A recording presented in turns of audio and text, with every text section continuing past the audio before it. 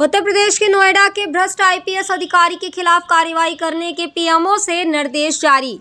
नोएडा में तैनात आईपीएस अफसर राम बदन सिंह की जाँच के लिए पीएमओ के स्टैंप लगी चिट्ठी, डीजीपी कार्यालय को प्राप्त हुई है।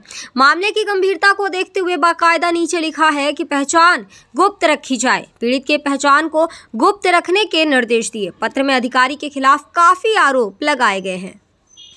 अपडेट मीडिया के लिए नोएडा से ब्यूरो रिपोर्ट।